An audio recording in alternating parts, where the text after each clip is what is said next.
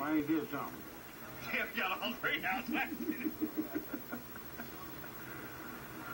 he did turn his head though when the ball came up off the dirt.